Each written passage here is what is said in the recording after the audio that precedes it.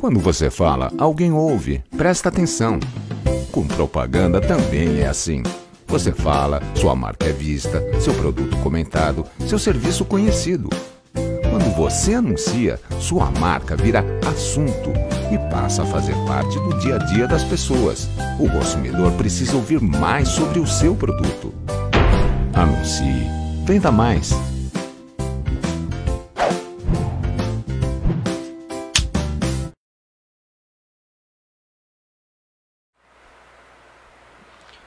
Olá, você que está chegando com a gente, ótima segunda-feira para você, obrigado pela audiência, pelo carinho. A gente está chegando com o nosso giro de notícias desta segunda-feira, trazendo as principais informações para você aqui pela tela da TV Paranatinga News, a nossa plataforma digital pelo Facebook, aonde a partir de agora você também participa com a gente.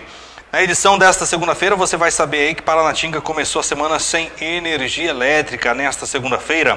Aglomerações, a Prefeitura e também a Polícia Militar de Paranatinga realiza operação aí para dispersão para evitar aglomerações em Paranatinga. Ministério, é, o Ministério Público dá ao Ministério Municipal, onde é interditado pela Justiça em Paranatinga. Você vai saber também que a Justiça dá prazo de 90 dias para que a Prefeitura de Paranatinga regularize o lar dos idosos. Incêndio atinge 1,8 mil hectares de lavoura em, em milho, em querência. Pai de menina que matou amiga com um tiro acidental em Mato Grosso é preso por não ter registro de armas. Ele foi liberado logo depois pagar fiança. Você vai saber também que família de paciente que morreu por suspeita de Covid-19 diz que é, maqueiros deles desligaram aparelho ao tocar aí na tomada sem querer. Estas e outras informações a partir de agora na tela da TV Paranatinga News.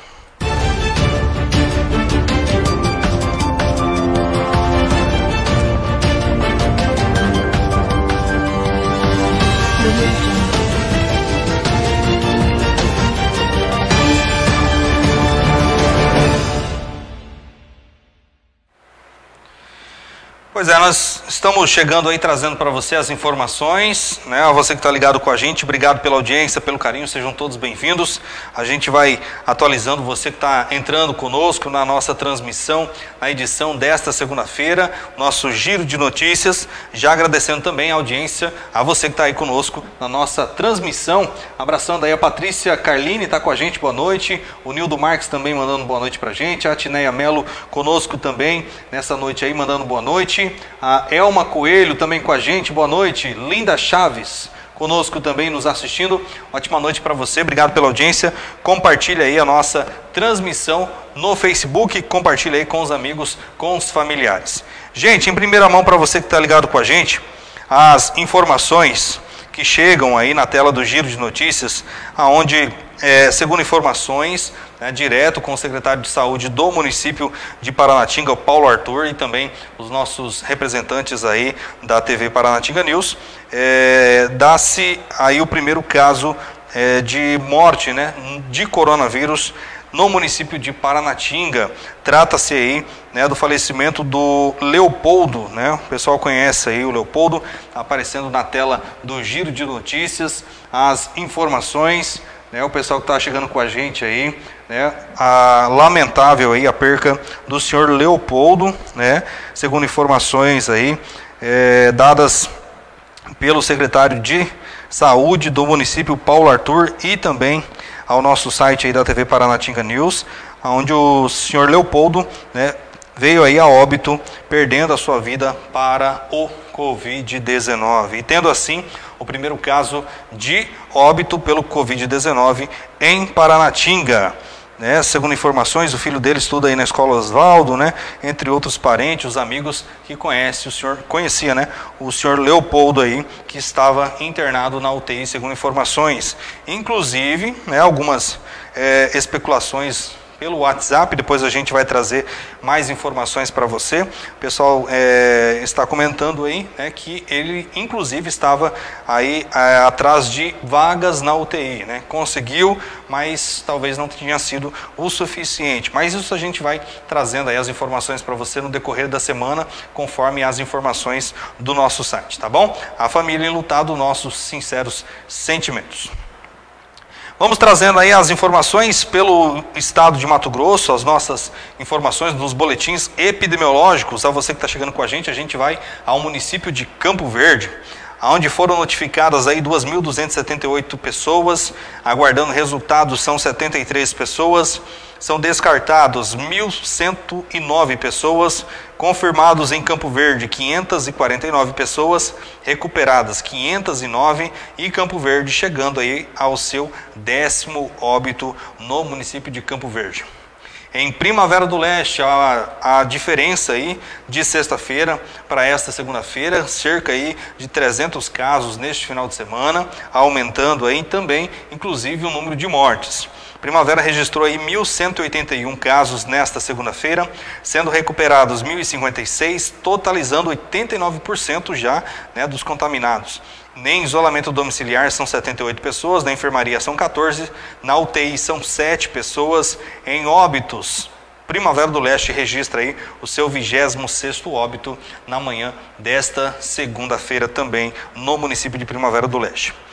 As informações também de Gaúcha do Norte, Gaúcha do Norte que registra também a sua segunda morte pelo Covid-19, onde são 68 suspeitos, 63 confirmados, 38 recuperados, 72 pessoas descartadas e em monitoramento 86 pessoas.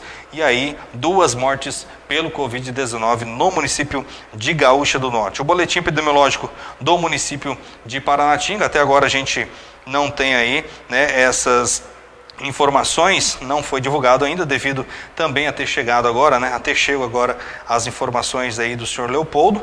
A gente aguarda aí, é, durante a nossa transmissão aí, as informações do Covid-19 do município de Paranatinga. A você que está com a gente aí, ótima noite para você, obrigado pela audiência. Vamos ao Facebook, pessoal que está com a gente aí, ligadinho com a gente, mandando boa noite.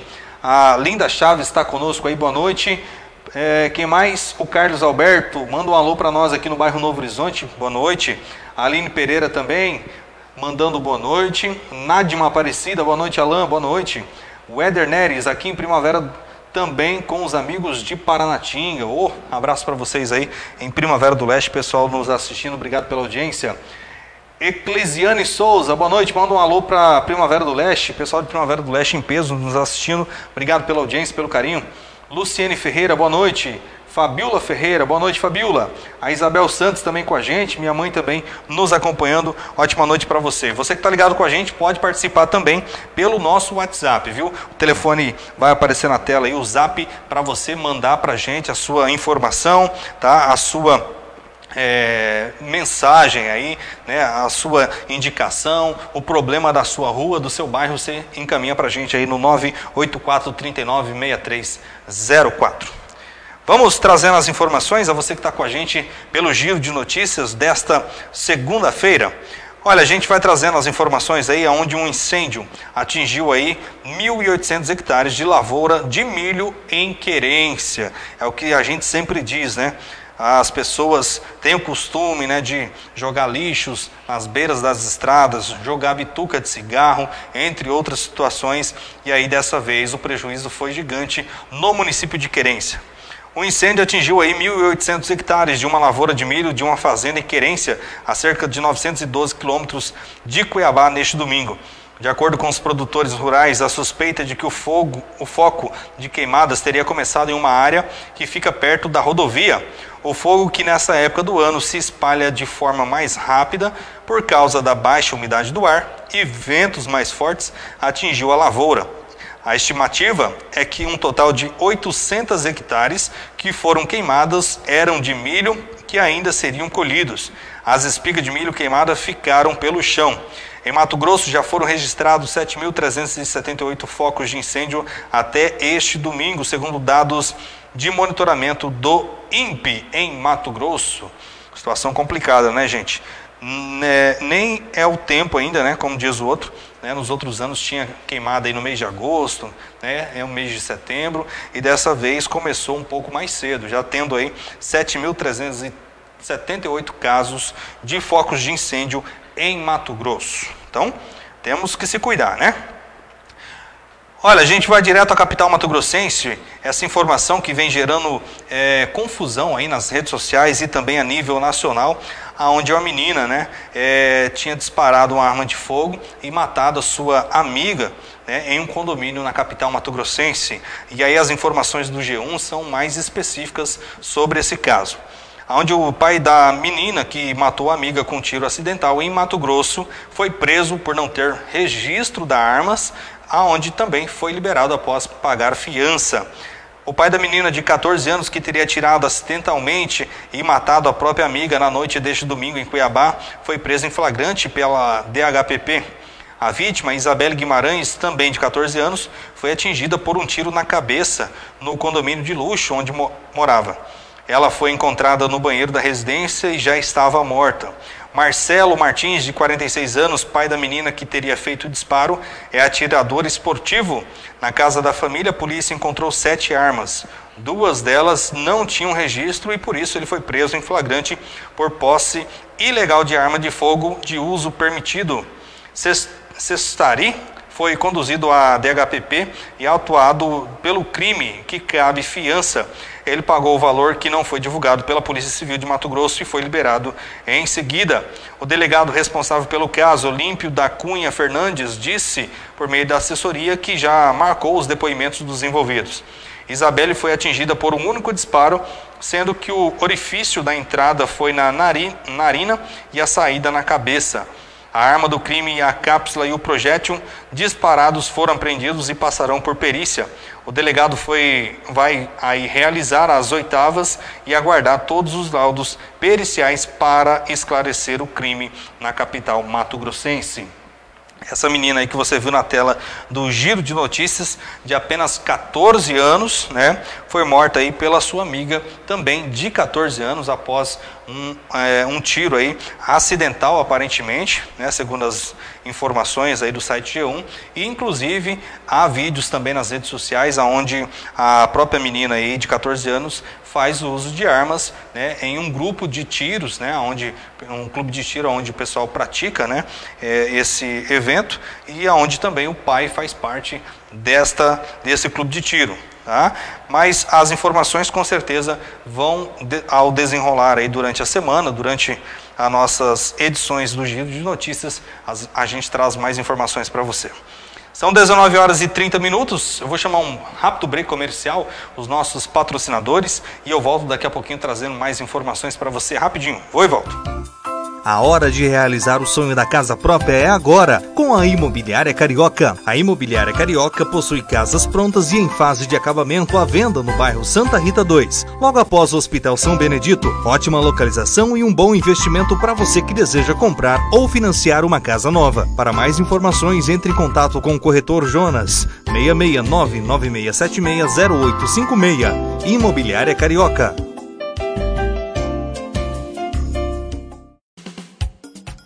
Para você que precisa de assistência técnica em celulares e tablets, é com a Melissa Celulares e Acessórios, especializada em celulares e tablets, agora com uma super novidade: atendimento online e delivery, com duas lojas em Paranatinga, uma na Avenida Bandeirantes e outra na Avenida Brasil, no centro da cidade. Telefone 3573 1009 ou 98429 2544 ou 99603 1315. Assistência técnica em celulares e tablets é com a Melissa celulares e acessórios.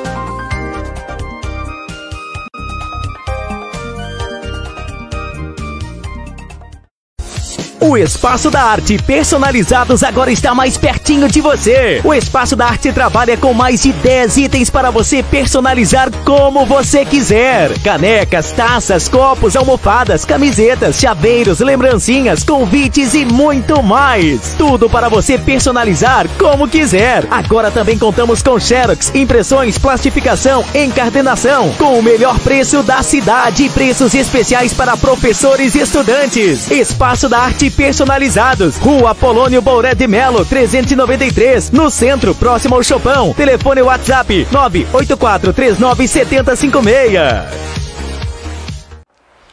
Então tá aí, né? Voltamos aí para trazer mais informações para você nessa noite de segunda-feira. Mais uma vez, né, informando aí os nossos amigos telespectadores, né? A primeira morte confirmada aí do Covid-19 no município de Paranatinga. Informações dadas pelo secretário de Saúde e também a nossa equipe da TV Paranatinga News, aonde foi confirmado aí que o senhor Leopoldo, né, esse que aparece aí na tela do giro de notícias, é, veio a óbito aí pelo coronavírus, o Covid-19, a primeira morte aí no município de Paranatinga. Família, os nossos sinceros sentimentos aí, os amigos também, né, que possam é, ser aí confortados. Vamos ao Facebook, pessoal que está com a gente aí, você que quer participar também do WhatsApp, para você mandar a sua mensagem para a gente, é o 98439-6304, você participa com a gente aí na edição desta segunda-feira. Deixa eu abraçar o pessoal conosco aqui a Rose Verlino. Boa noite, Rose. Obrigado pela audiência.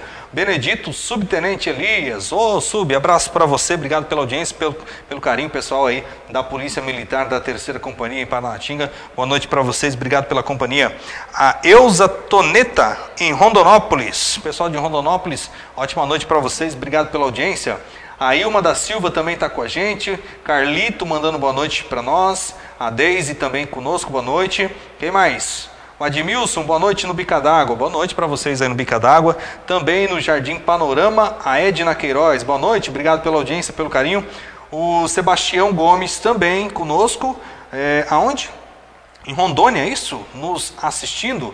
O João da Chama Gás também junto com a gente, desejando uma ótima noite a toda a família paranatinguense. João, abraço para você, para Cida. Obrigado pela audiência, pelo carinho.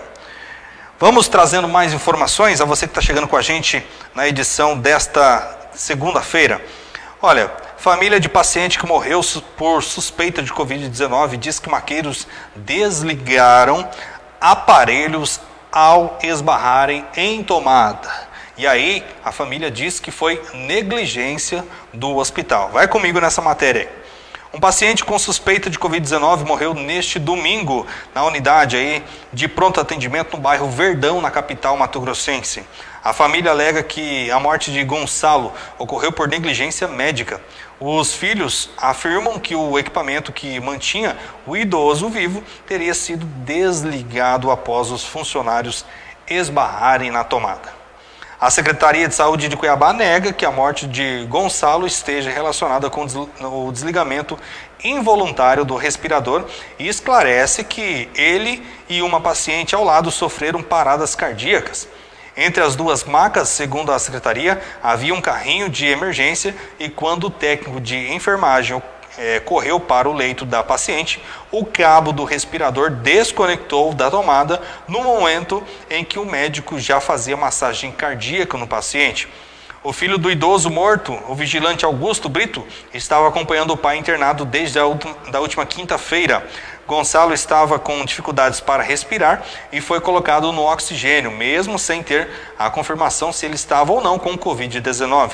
Ele foi internado em uma enfermaria ao lado de pacientes que testaram positivos para o coronavírus deveria ter um médico responsável por essa área e tem que ter isolamento. Pessoas confirmadas com Covid-19 em um outro pavilhão e pessoas esperando resultado porque pode dar negativo ou positivo, mas não misturando aí, como está, ressaltou o filho.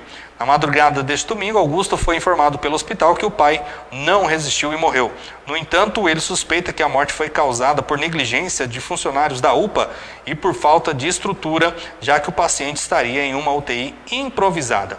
Uma senhora que estava ao lado da maca do meu pai na UTI improvisada veio a óbito.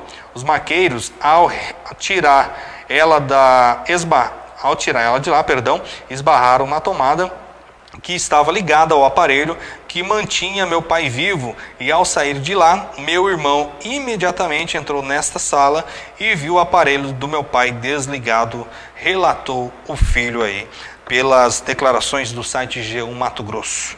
Situação complicada, hein, gente? E aí ele diz o seguinte, ó: Meu pai não morreu de COVID-19. Ele não tinha COVID. Morreu por uma irresponsabilidade dessas pessoas, disse aí é, o filho acusando os funcionários da UPA lá em Cuiabá. Situação complicada, né, gente? É, aonde a família aí agora briga, né, é, pela possível negligência da UPA na capital mato-grossense, onde, é, segundo os relatos aqui do site G1, o mesmo não tinha sido diagnosticado com Covid-19, mas aí pelas suas é, suspeitas né, de ter chegado com falta de ar e outras situações na UPA, foi internado em uma UTI improvisada na mesma ala que os pacientes com Covid-19. Situação complicada vive a saúde do Mato Grossense, né, gente? 19h37. A você que está chegando, obrigado pela audiência, pelo carinho, sejam todos bem-vindos. Obrigado a você que está conosco. Tem a nota oficial aí, Alex? A Prefeitura de Paranatinga é, vem aí a público, né? Soltar aí também uma nota oficial do Covid-19, onde diz o seguinte. O Comitê de Enfrentamento ao Covid-19 em Paranatinga, com muito pesar, informa o primeiro óbito por Covid-19 no município. A vítima é um senhor de 57 anos que deu entrada no pronto atendimento municipal no dia 3 de julho, testado, testando positivo para o Covid-19. Ele estava internado na UTI de, na, da Santa Casa da Misericórdia em Rondonópolis. Veio a óbito na tarde desta segunda-feira. O Comitê de Enfrentamento lamenta profundamente e solidariza com os familiares e amigos aí em Paranatinga. Situação complicada, né, gente? É... Se eu não me engano, tem mais uma pessoa né, na UTI, né? A gente está aguardando aí né, os resultados do boletim epidemiológico do município, mas eram duas pessoas na UTI, né? Saiu aí. E aí é, o boletim epidemiológico registrava aí, né? Duas pessoas na UTI em Paranatinga. Vamos abrindo aí as informações. A você que está chegando com a gente aí na tela do Giro de Notícias, compartilha, comenta aí, manda para cá o seu boa noite, compartilha a nossa transmissão no Facebook. A você que está chegando com a gente, né? Paranatinga News no Facebook. Você ativa também o sininho aqui, gente, ó. Aí na tela do seu computador, do seu tablet, do seu smartphone. E aí, amanhã às 19h15, você recebe a notificação que nós já estamos ao vivo trazendo para você as informações. A gente tem aí na tela do Giro de Notícias o boletim epidemiológico atualizado do município, onde estão aguardando resultados 30 pessoas, de 70 sobe para 77 pessoas positivadas, 39 no SUAB, 38 no teste rápido, sendo estes cinco residentes de outros municípios, tendo três pessoas na enfermaria, duas pessoas na UTI, tendo 38 recuperados, tendo também em monitoramento 115 pessoas e uma pessoa em óbito registrado aí pela Prefeitura de Paranatinga, Secretaria Municipal de Saúde, no município de Paranatinga. Situação é complicada, né, gente? A gente né, é, pede a Deus, né, para que Deus possa dar aí né, é, os devidos segmentos a todos, né, as devidas é, orientações na vida. A gente sabe que nesse momento aí de dor, né, a família e os amigos sofrem, todo mundo sofre e a preocupação com certeza aumenta. Né? Mas se cada um fazer a sua parte, com certeza a gente vai ter aí né, poucos casos no município aí de agora para frente. Mas isso depende de você, né? E você também que se encontra aí em aglomerações. Alex, traz para mim aí as imagens aí da Prefeitura de Paranatinga, onde a Vigilância Sanitária e também a Polícia Militar né, estiveram aí neste sábado fazendo aí a operação que faz a dispersão no intuito de realizar a fiscalização do cumprimento do decreto municipal que prevê as medidas sanitárias que devem ser cumpridas no município. Participaram das ações as equipes da Vigilância Sanitária do e também do setor de tributação, Durante a operação, não houve ocorrências onde foi necessária a condução de suspeitos. Cabe ressaltar a importância da colaboração dos munícipes no enfrentamento à pandemia do coronavírus. Apesar de todos os esforços por parte dos diversos setores empregados ao combate à disseminação da doença em nosso meio, os números têm crescido a cada dia, motivados pela descrença da população quanto à é, vitalidade do vírus.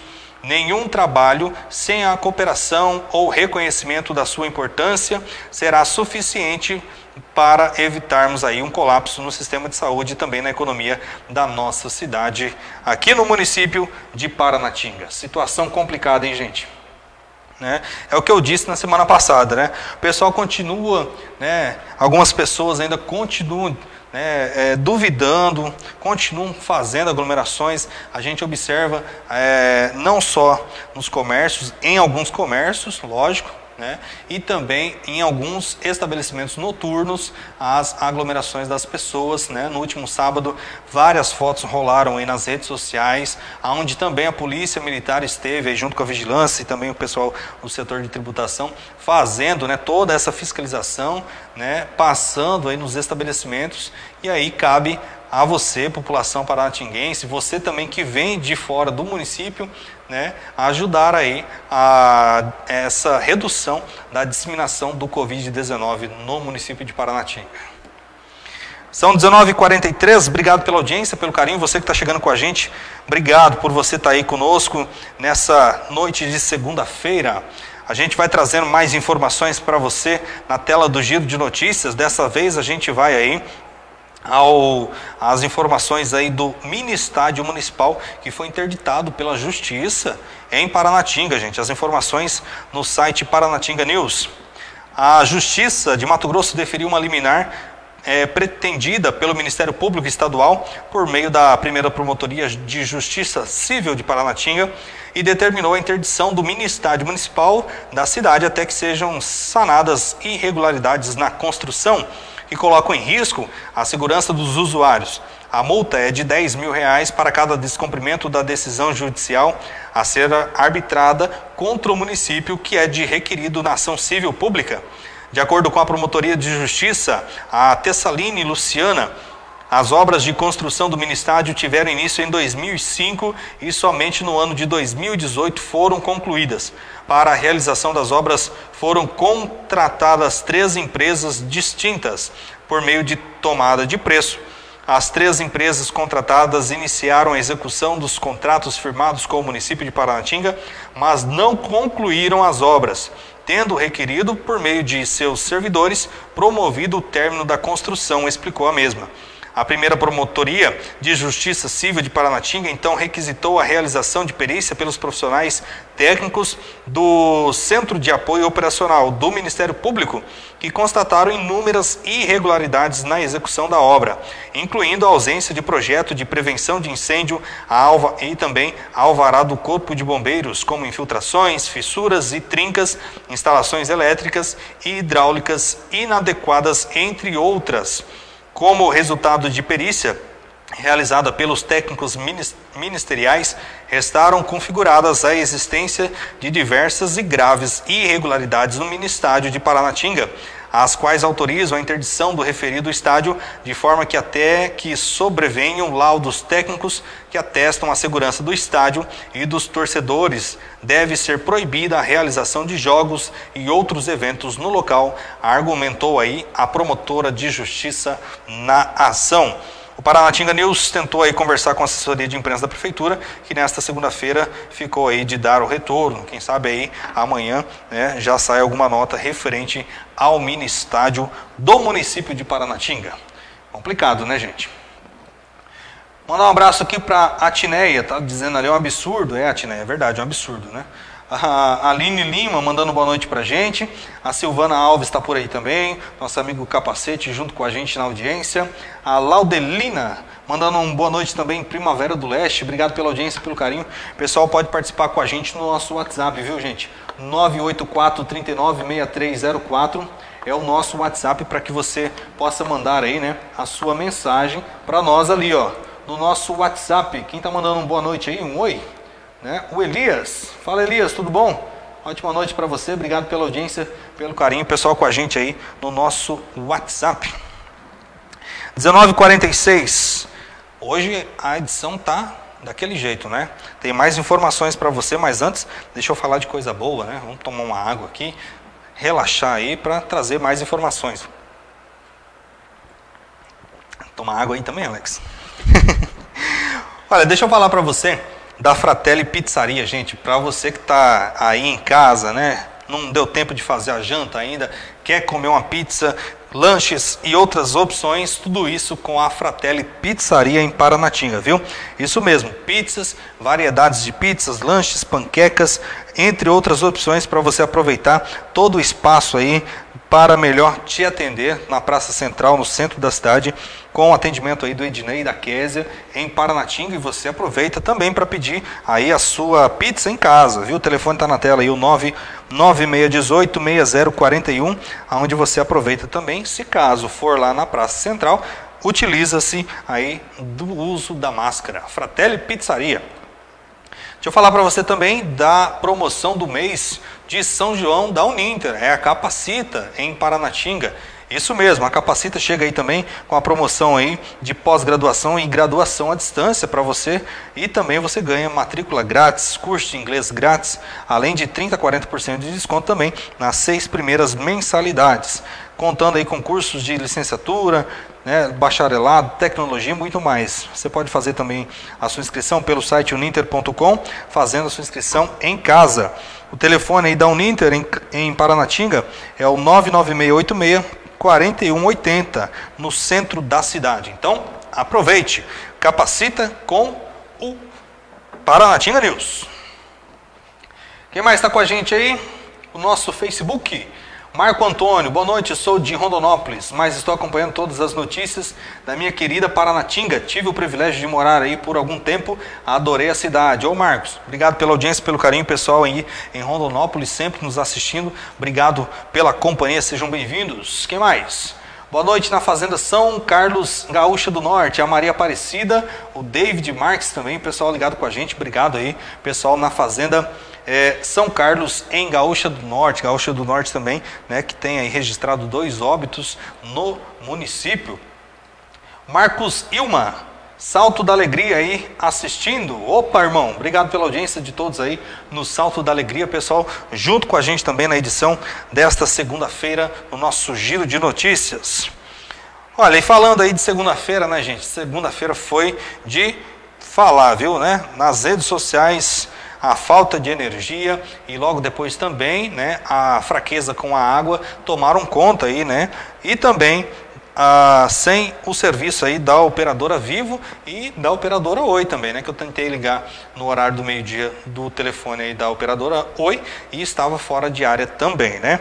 Nesta segunda-feira, dia 13, Ainda no início do mês, o município de Paranatinga ficou sem energia elétrica desde 9 horas da manhã. Segundo as informações obtidas, o problema foi na linha de transmissão entre Primavera do Leste e Paranatinga.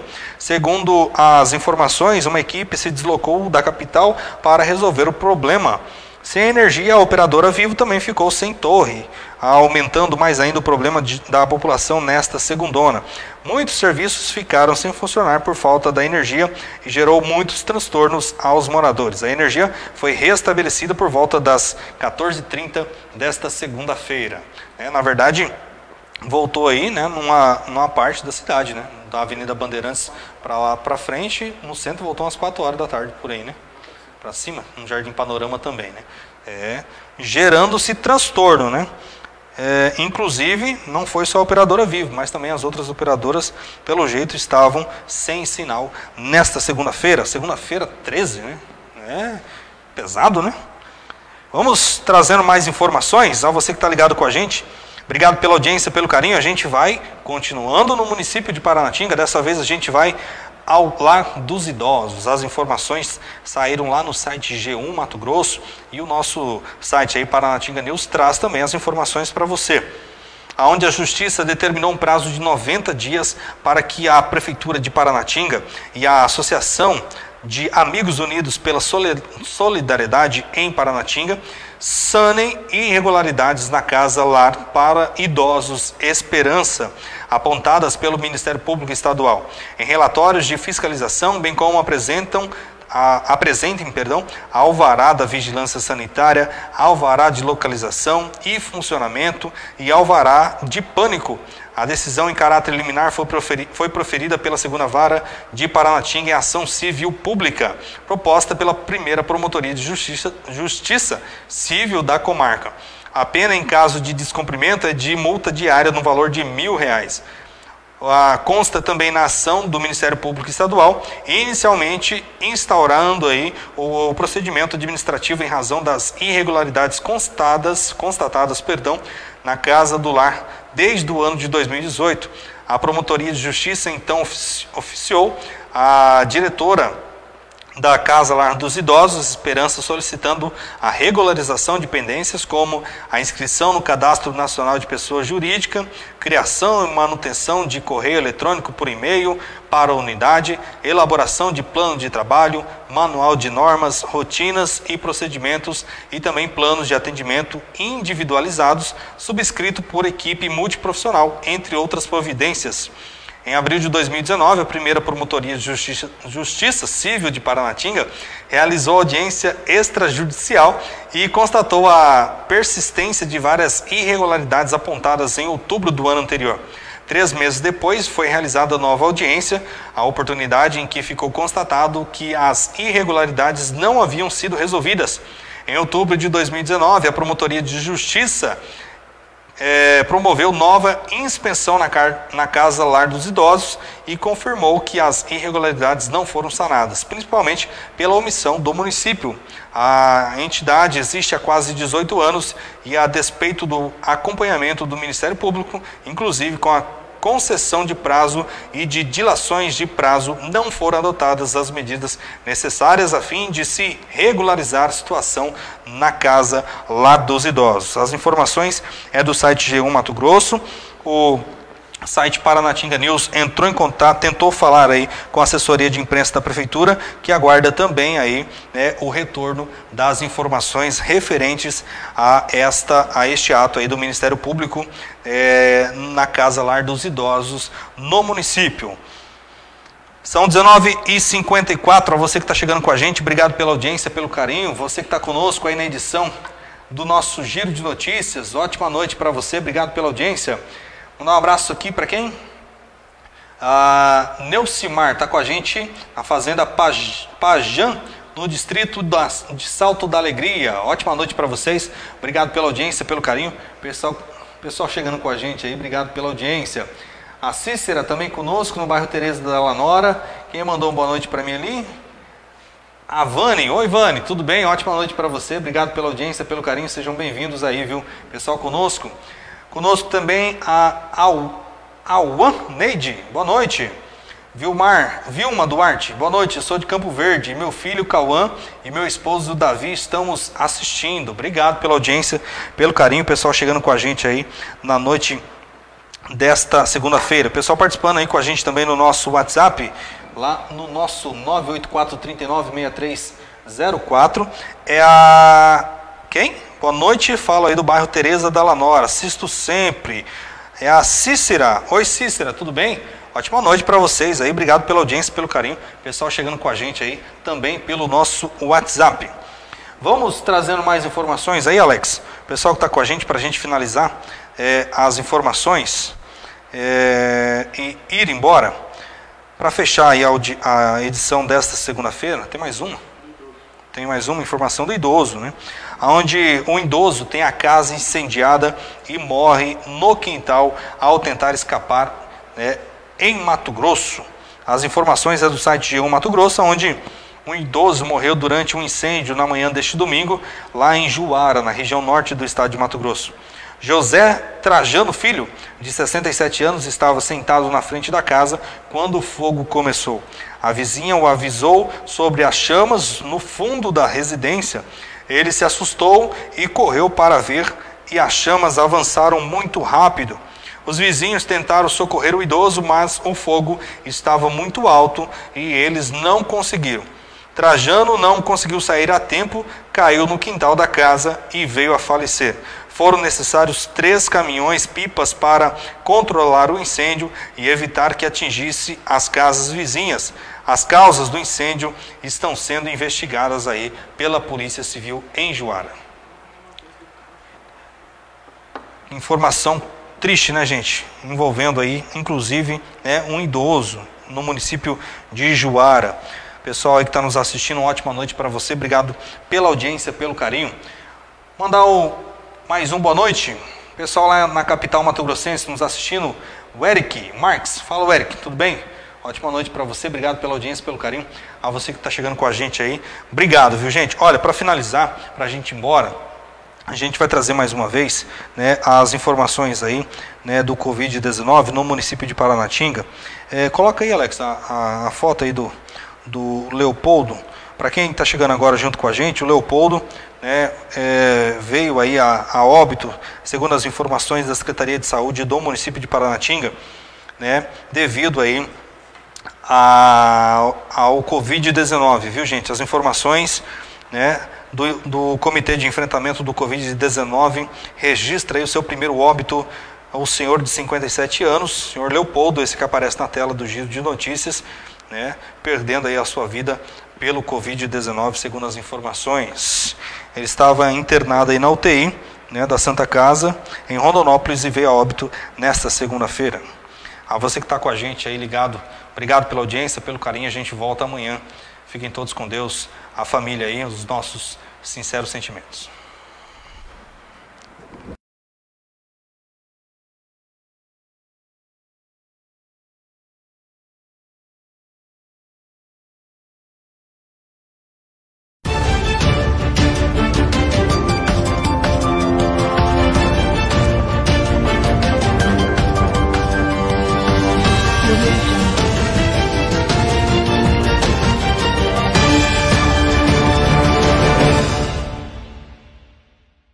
Quando você fala, alguém ouve. Presta atenção. Com propaganda também é assim. Você fala, sua marca é vista, seu produto comentado, seu serviço conhecido. Quando você anuncia, sua marca vira assunto e passa a fazer parte do dia a dia das pessoas. O consumidor precisa ouvir mais sobre o seu produto. Anuncie. Venda mais.